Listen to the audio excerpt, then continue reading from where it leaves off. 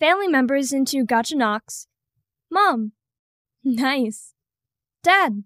This one looks nice too. Sister. She looks fantastic. Brother.